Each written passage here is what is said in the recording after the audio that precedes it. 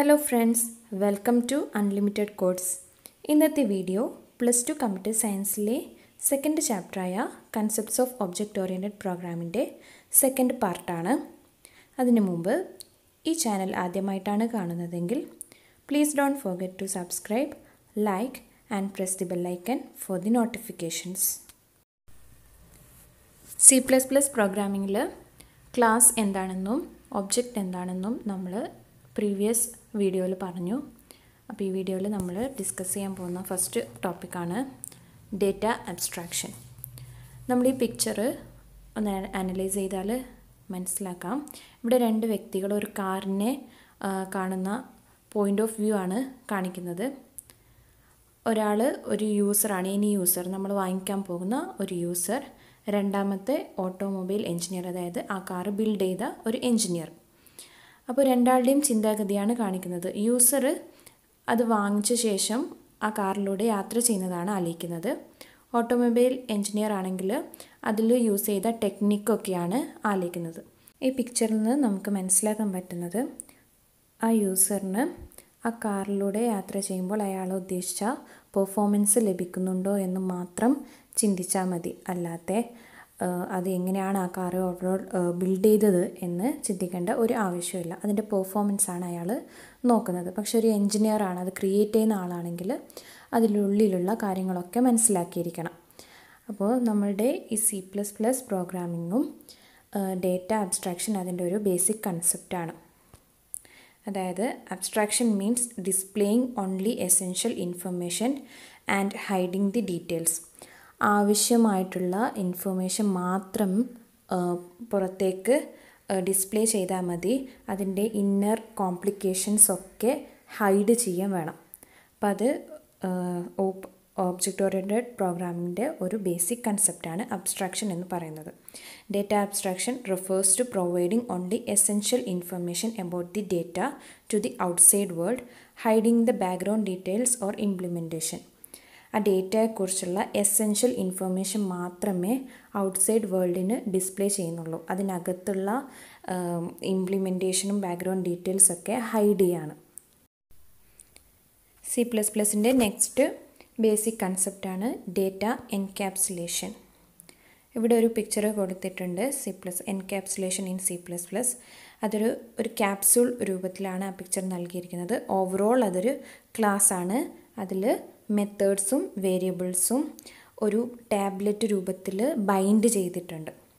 അതായത് encapsulation is an object oriented programming concept that binds together the data and functions that manipulate the data അതായത് ഞാൻ പറഞ്ഞു object oriented ആണ്. ഒബ്ജക്റ്റിനെയാണ് കൂടുതൽ importance നൽകുന്നത്. അപ്പോൾ ഈ ഒബ്ജക്റ്റിൽ എന്തൊക്കെയാണുള്ളത് ഡേറ്റാവും അതിലെ മെത്തേഡ്സും മെമ്പർ ഫങ്ഷൻസും അപ്പോൾ സി പ്ലസ് പ്ലസ് ഈ ഡേറ്റയും അതിന് അനുബന്ധിച്ചിട്ടുള്ള മെമ്പർ ഫങ്ഷനെയും ഒന്നിച്ച് ബൈൻഡ് ചെയ്തിട്ട് ഒരു ക്യാപ്സൂൾ രൂപത്തിൽ അതിനെ ഒന്നിച്ച് നിർത്തും. ഔട്ട്സൈഡ് വേൾഡിൽ നിന്നുള്ള ഇന്റർഫറൻസ് മിസ്യൂസ് ഇതൊക്കെ ഒരു ബാധിക്കാതെ ഡേറ്റയും ഫങ്ഷനെയും സേഫായി കീപ്പ് ചെയ്യാൻ എൻക്യാപ്സുലേഷൻ എന്നുള്ള ആ ഒരു ബേസിക് കൺസെപ്റ്റ് ഹെൽപ്പ് ചെയ്യുന്നു. C plus plus implements encapsulation and data hiding through declaration of a class ഒരു ക്ലാസ് ഡിക്ലെയർ ചെയ്യുമ്പോൾ തന്നെ അതിന്റെ ഈ സേഫ്റ്റിയൊക്കെ സി പ്ലസ് പ്ലസ് പ്രൊവൈഡ് ചെയ്യുന്നുണ്ട്. അത് നേരത്തെ നമ്മൾ പറഞ്ഞു private protected and public access സ്പെസിഫയേഴ്സിനെ കുറിച്ച് നമ്മൾ നേരത്തെ വീഡിയോയിൽ നമ്മൾ ഡിസ്കസ് ചെയ്തതാണ്. എന്നാലും ഒന്നുകൂടി പറയാം. അപ്പോൾ ഇതിലൂടെയൊക്കെയാണ് ഈ എൻക്യാപ്സുലേഷൻ പോസിബിൾ ആവുന്നത്. അതായത് ഈ സേഫ്റ്റി പോസിബിൾ ആവുന്നത്. Private section are not visible outside outside the class ആ ക്ലാസ്സിന് പുറത്ത് പ്രൈവറ്റായിട്ട് നമ്മൾ എന്തൊക്കെ ഡേറ്റാസ് ആവട്ടെ മെമ്പർ ഫങ്ഷൻസ് ആവട്ടെ നമ്മൾ ഡിക്ലെയർ ആണെങ്കിൽ അത് ക്ലാസ്സിന് പുറത്ത് ആക്സസിബിൾ അല്ല. അതുപോലെ protected are visible to its derived class but not outside the class protected ആണെങ്കിൽ നമ്മുടെ ആക്സസ് സ്പെസിഫയർ പ്രൊട്ടക്റ്റഡ് ആണെങ്കിൽ അതിനകത്തുള്ള ഡേറ്റാസും വേരിയബിൾസും മെമ്പർ ഫങ്ഷൻസും ആ ക്ലാസ്സിലെ ക്ലാസ്സിൽ നിന്നും ഡിറൈവ് ചെയ്ത ക്ലാസ്സിലേക്ക് ആക്സസിബിൾ ആണ്. പക്ഷേ അല്ലാത്ത ബാക്കിയുള്ള ഔട്ട്സൈഡ് വേൾഡിനത് ആക്സസിബിൾ അല്ല. പക്ഷെ പബ്ലിക് ആണെങ്കിൽ പ്രോഗ്രാമിൽ എവിടെ വേണമെങ്കിലും ആ ഡേറ്റാസിനെയും ആ ഫങ്ഷൻസിനെയും ആക്സസ് ചെയ്യാൻ പറ്റും. കഴിഞ്ഞ വീഡിയോയിൽ നമ്മൾ ഈ ആക്സസ് സ്പെസിഫയേഴ്സിനെ കുറിച്ച് പറഞ്ഞതാണ്. അതുകൊണ്ടാണ് ഞാൻ സ്പീഡായിട്ട് പറയുന്നത്. ആർക്കെങ്കിലും സംശയം ഉണ്ടെങ്കിൽ കഴിഞ്ഞ വീഡിയോ ചെക്ക് ചെയ്യാവുന്നതാണ്. Okay. Next basic concept modularity നമ്മൾ പറഞ്ഞു പ്രോഗ്രാമിനെ മൊഡ്യൂൾസ് ആയിട്ട് ഡിവൈഡ് ചെയ്യാറുണ്ട്. അതായത് ഒരു വലിയൊരു പ്രോഗ്രാമിനെ ഒന്നിച്ച് നമുക്ക് സോൾവ് ചെയ്യാൻ ബുദ്ധിമുട്ടായിരിക്കും. അപ്പോൾ അതിനെ നമ്മൾ സ്മോൾ സ്മോൾ മൊഡ്യൂൾസ് ആയിട്ട് small small sub program programs ആയിട്ട് ഡിവൈഡ് ചെയ്യുകയും ഓരോന്നിനെയും നമ്മൾ പ്രത്യേകം സോൾവ് ചെയ്ത് അവസാനം ഈ സൊല്യൂഷൻസിനെ കമ്പൈൻ ചെയ്യാണ് ചെയ്യുന്നത്. അപ്പോൾ മൊഡ്യുലാരിറ്റി എന്ന് വെച്ചാൽ is a concept through which a program is partitioned into modules. അതായത് ഒരു പ്രോഗ്രാമിനെ മൊഡ്യൂൾസ് ആയിട്ട് പാർട്ടീഷൻ ചെയ്യും. എന്നിട്ട് ഓരോ മൊഡ്യൂളിനും അതിന്റേതായ പ്രോഗ്രാംസ് നമ്മൾ ക്രിയേറ്റ് ചെയ്യും. എന്നിട്ട് with no consideration of any other module വേറെ മൊഡ്യൂളിനല്ല ഓരോ മൊഡ്യൂളിനും നമ്മൾ പ്രത്യേകം പ്രത്യേകം സോൾവ് ചെയ്ത് എന്നിട്ട് അവസാനം ആ സൊല്യൂഷൻ ഒന്നിച്ച് ഇതാക്കുകയാണ് ചെയ്യുന്നത്. കമ്പനിയാണ് ചെയ്യുന്നത്. അപ്പോൾ അതിനെയാണ് മൊഡ്യൂലാരിറ്റി എന്ന് പറയുന്നത്. അപ്പോൾ ഇത് കോംപ്ലക്സിറ്റി കുറയ്ക്കാൻ പറ്റും. നെക്സ്റ്റ് ബേസിക് കൺസെപ്റ്റ് ഇൻഹെറിറ്റൻസ് നമ്മൾ പറയാറില്ലേ നമുക്ക് നമ്മളുടെ ഫാദറിന്റെ അല്ലെങ്കിൽ ഗ്രാൻഡ് ഫാദറിന്റെ ഒക്കെ കുറച്ച് സ്വഭാവമൊക്കെ കിട്ടിയിട്ടുണ്ട് എന്നൊക്കെ. അപ്പം അതിനെ നമ്മൾ ഇൻഹെറിറ്റന്റ്ലി കിട്ടിയതാണെന്ന് പറയാറുണ്ട്. അതിനർത്ഥം ഇൻഹെറിറ്റൻസ് എന്ന് വെച്ചാൽ is the process by which objects of one class acquire the properties and functionalities of another class ഒരു ക്ലാസ് വേറൊരു ക്ലാസ്സിൽ നിന്നും അതിന്റെ പ്രോപ്പർട്ടീസൊക്കെ അക്വയർ ചെയ്യുന്നത് ലഭി അതിന് കിട്ടുന്നതിനെയാണ് ഇൻഹെറിറ്റൻസ് എന്ന് പറയുന്നത്. ഇപ്പോൾ കുറച്ചും കൂടി മനസ്സിലാൻ വേണ്ടിയിട്ടൊരു പിക്ചർ നൽകിയിട്ടുണ്ട്. ഇപ്പോൾ ക്ലാസ് വെഹിക്കിൾ എന്ന് പറഞ്ഞിട്ടൊരു ക്ലാസ് ഉണ്ട്. അപ്പോൾ അതിന് കുറച്ച് മെമ്പർ ഫങ്ഷൻസ് ഉണ്ട്. പ്രോപ്പർട്ടീസ് ഉണ്ടാവും ഡേറ്റാസ് ഉണ്ടാവും. ആ വെഹിക്കിൾ എന്നുള്ള ഒരു ക്ലാസ്സിന് അതിന്റേതായ പ്രോപ്പർട്ടീസ് ഉണ്ടാകും അപ്പോൾ ഒന്നാമത്തത് ഫ്യുവൽ എമൗണ്ട് രണ്ട് കപ്പാസിറ്റി മൂന്ന് അപ്ലൈ ബ്രേക്സ് ഇങ്ങനെ മൂന്ന് മെമ്പർ ഫങ്ഷൻസ് ഉണ്ട്. അപ്പോൾ ഈ വെഹിക്കിൾ എന്നുള്ള ക്ലാസ്സിൽ നിന്ന് പെടുന്ന അത് അതർ ക്ലാസ്സാണ് ബസ് കാറ് ആൻഡ് ട്രക്ക് അതായത് ബസ് എന്ന് പറഞ്ഞാലും വെഹിക്കിളാണ് കാർ എന്ന് പറഞ്ഞാലും വെഹിക്കിളാണ് ട്രക്ക് എന്ന് പറഞ്ഞാലും വെഹിക്കിളാണ് പക്ഷേ ഇതിൽ ഡിഫറൻസ് ഉണ്ടാവും. കാരണം ഇതിൽ യൂസ് ചെയ്യുന്ന എമൗണ്ട് ഓഫ് ഫ്യൂവൽ വ്യത്യാസമാണ്. കപ്പാസിറ്റി വ്യത്യാസമാണ്. അതേപോലെ ബ്രേക്ക് അപ്ലൈ ബ്രേക്സ് എന്ന് പറഞ്ഞാൽ ആ ഒരു പ്രോപ്പർട്ടിയും ഈ മൂന്ന് വെഹിക്കിളിനും എന്താ വ്യത്യാസമാണ്. പക്ഷേ ഇത് മൂന്നും വെഹിക്കിൾസാണ് അത് ശരിയാണ്. പക്ഷേ ഈ മൂന്ന് പ്രോപ്പർട്ടിയും നമ്മൾ എടുക്കുകയാണെങ്കിൽ വ്യത്യാസം ഉണ്ടാവും. അപ്പോൾ മൂന്നിനും വേറെ വേറെ ഈ പ്രോപ്പർട്ടീസ് ക്രിയേറ്റ് ചെയ്യുന്നതിന് പകരം നമുക്ക് ഓരോ ക്ലാസ്സിനും അതായത് ക്ലാസ് എന്നുള്ള ബസ്സിന് ഈ വെഹിക്കിളിൽ നിന്നുള്ള ക്ലാസ്സിൽ ഓൾറെഡി ഡിഫൈൻ ചെയ്ത ഈ മെമ്പർ ഫങ്ഷൻസിനെ ആക്സസ് ചെയ്യാൻ പറ്റും. അതായത് ഇൻഹെറിറ്റ് ചെയ്യാൻ പറ്റും. ആ ഫങ്ഷൻസ് ആ പ്രോപ്പർട്ടീസ് ഈ ക്ലാസ് ബസ്സിലേക്ക് ഇൻഹെറിറ്റ് ചെയ്യാൻ പറ്റും. അതേപോലെ ക്ലാസ് കാർ എന്നുള്ള ക്ലാസ്സിലേക്ക് ക്ലാസ് വെഹിക്കിൾ എന്നുള്ള അതിൽ നിന്നും ഈ പ്രോപ്പർട്ടീസ് ഇൻഹെറിറ്റ് ചെയ്യാൻ പറ്റും. സെയിം വേ ട്രക്ക് എന്നുള്ള ക്ലാസ്സിലേക്ക് ഈ വെഹിക്കിൾ എന്നുള്ള ക്ലാസ്സിൽ നിന്നും ഈ പ്രോപ്പർട്ടീസൊക്കെ ഇൻഹെറിറ്റ് ചെയ്യാൻ പറ്റും. അപ്പോൾ നമ്മൾ കൂടുതൽ ഓരോന്നിലും നമുക്ക് ഈ പ്രോപ്പർട്ടീസൊക്കെ ഡിഫൈൻ ചെയ്യേണ്ട ആവശ്യമില്ല. വെഹിക്കിൾ എന്നുള്ള അതിൽ നിന്ന് തന്നെ നമുക്ക് ഈ കാര്യങ്ങളൊക്കെ അക്വയർ ചെയ്യാൻ പറ്റും. അതിനെയാണ് ഇൻഹെറിറ്റൻസ് എന്ന് പറയുന്നത്. Once a class written created and debugged if needed it can be distributed for use in other programs. This is called reusability. ഇവിടെ കാണാം. വെഹിക്കിൾ എന്നുള്ള ക്ലാസ്സിൽ നമ്മൾ ഈ പ്രോപ്പർട്ടീസ് ഒക്കെ ഡിഫൈൻ ചെയ്തു. അപ്പോൾ അതിന് നമ്മൾ ഡീബഗ് ചെയ്തു. ഡീബഗ് എന്ന് വെച്ചാൽ എറേഴ്സൊക്കെ റിമൂവ് ചെയ്തു. അതിന് ഡീബഗ് ചെയ്തു. അപ്പോൾ ഇതിനെ വീണ്ടും നമുക്ക് വേറൊരു പ്രോഗ്രാമിൽ യൂസ് ചെയ്യാൻ പറ്റും. അത് വീണ്ടും ക്രിയേറ്റ് ചെയ്യാതെ തന്നെ ഇതിനെ തന്നെ നമുക്ക് റീയൂസ് ചെയ്യാൻ പറ്റും.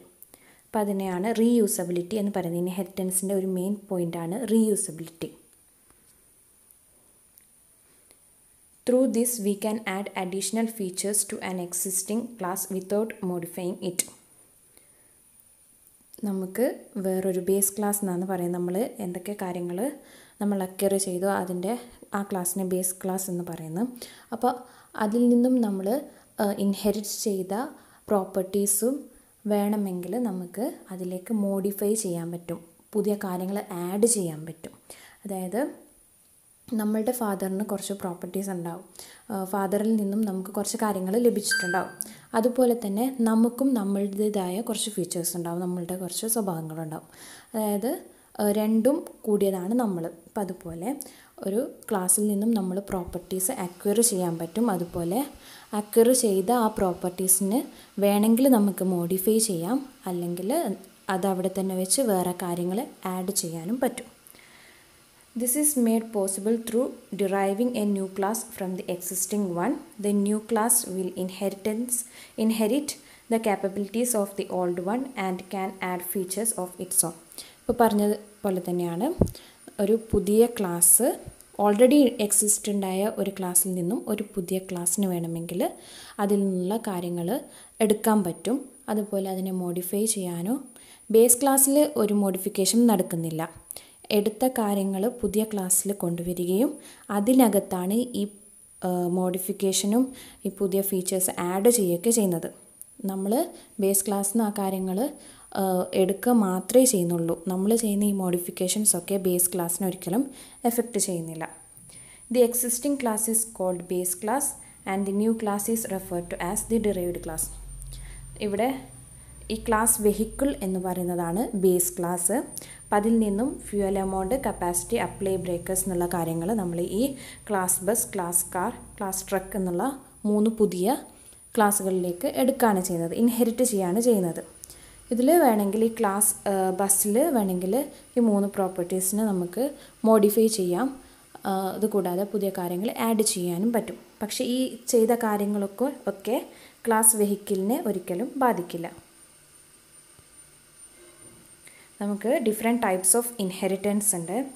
First one single second hierarchical third multiple then multi level and hybrid ഇതൊക്കെ ഫൈവ് ടൈപ്സ് ഓഫ് ഇൻഹെറിറ്റൻസ് ആണ്.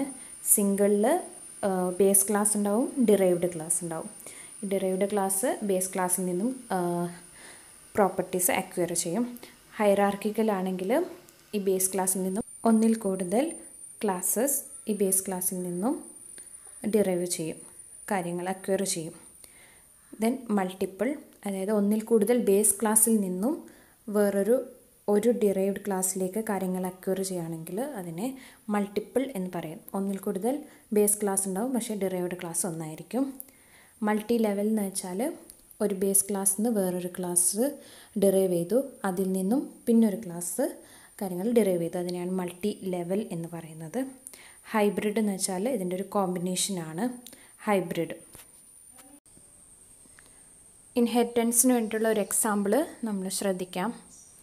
നമുക്കൊരു ബേസ് ക്ലാസ് ഉണ്ട് സ്റ്റുഡന്റ് എന്ന് പറഞ്ഞിട്ട് അപ്പോൾ അതിൽ register number mark one mark two mark three fee and name ഇതൊക്കെ ഡേറ്റാസ് ആണ്. അപ്പോൾ അതിന്റെ അതിലുള്ള member functions get student show student update fees ഇനി നമുക്ക് ഒന്ന് രണ്ട് ഡേറ്റാസ് ആഡ് ചെയ്യണം. പിന്നെ കുറച്ച് ഫങ്ഷൻസ് മെമ്പർ ഫങ്ഷൻസും ആഡ് ചെയ്യണം എന്ന് വിചാരിക്കാം. അപ്പോൾ നമ്മൾ ഈ ബേസ് ക്ലാസ്സിലെ ഡിസ്റ്റേബ് ചെയ്യാത്ത അതായത് അത് അവിടെ തന്നെ വെച്ചുകൊണ്ട് പുതിയൊരു ഡിറൈവ്ഡ് ക്ലാസ് നമുക്ക് ക്രിയേറ്റ് ചെയ്യാൻ പറ്റും. ന്യൂ സ്റ്റുഡന്റ് എന്ന് പറഞ്ഞിട്ട് പുതിയൊരു ക്ലാസ് ഇവിടെ ക്രിയേറ്റ് ചെയ്തിട്ടുണ്ട്. അപ്പോൾ അതിൽ ചെയ്യുന്നത് ഈ ബേസ് ക്ലാസ്സിലുള്ള ഈ കാര്യങ്ങളൊക്കെ ഇൻഹെറിറ്റ് ചെയ്യുകയും അതിലേക്ക് പുതിയതായിട്ടുള്ള ഡേറ്റാസ് ഇൻസേർട്ട് ആഡ് ചെയ്യുകയും ചെയ്യുന്നതാണ്. അപ്പോൾ ഈ ന്യൂ സ്റ്റുഡന്റ് എന്നുള്ള ഡിറൈവ്ഡ് ക്ലാസ്സിൽ സ്റ്റുഡന്റ് എന്നുള്ള ക്ലാസ്സിലെ കാര്യങ്ങളും ഉണ്ടാവും. പിന്നെ അതും കൂടാതെ ഈ ന്യൂ സ്റ്റുഡന്റിൽ ഏജ് സ്റ്റാൻഡേർഡ് എന്ന് പറഞ്ഞിട്ട് രണ്ട് ഡേറ്റാസ് ആഡ് ചെയ്യുകയും ചെയ്തിട്ടുണ്ട്. Index for declaring a derived class is as follows ഒരു ഡിറൈവ്ഡ് ക്ലാസ് എങ്ങനെയാണ് നമ്മൾ ഡിഫൈൻ ചെയ്യുന്നത് അതിന്റെ സിൻഡാക്സ് നൽകിയിട്ടുണ്ട്. Class derived class colon access specifier then base class അപ്പം നേരത്തെ ആണെങ്കിൽ മൊത്തത്തിൽ class new student colon public student അങ്ങനെ വരും.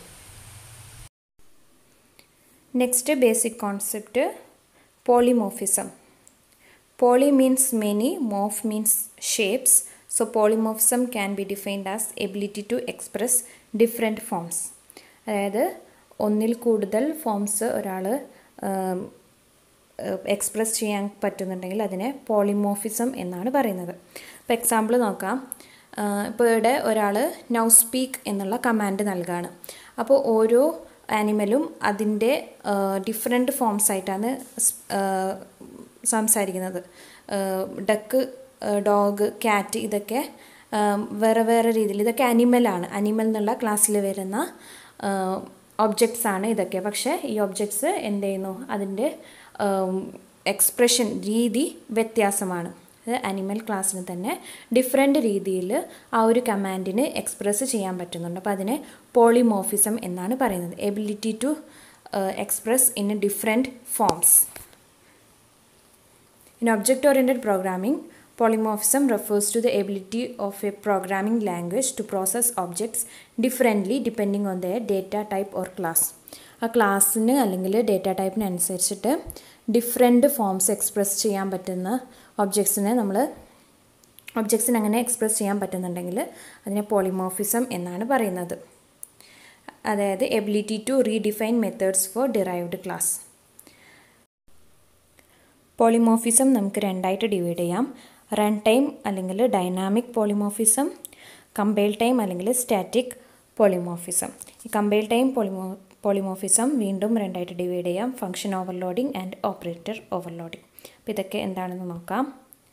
കമ്പൈൽ ടൈം പോളിമോഫിസം എന്ന് വെച്ചാൽ it refers to the ability of the compiler to bind a function call with function definition during compilation itself compilation നടക്കുന്ന സമയത്ത് ഈ ഫംഗ്ഷൻ കോളിനെയും ഫംഗ്ഷൻ ഡെഫിനേഷനെയും bind ചെയ്യുന്നതിനെയാണ് കമ്പൈൽ ടൈം പോളിമോഫിസം എന്ന് പറയുന്നത്. ആ ഒരു എബിലിറ്റിനെയാണ് കമ്പൈൽ ടൈം പോളിമോഫിസം അതായത് കമ്പൈൽ ടൈമിലാണ് ഈ ബൈൻഡിങ് നടക്കുന്നത്. ഫംഗ്ഷൻ കോളും ഫംഗ്ഷൻ ഡെഫിനേഷന്റെയും ഈ ബൈൻഡിങ് നടക്കുന്നത് കമ്പൈൽ ടൈമിലാണ്.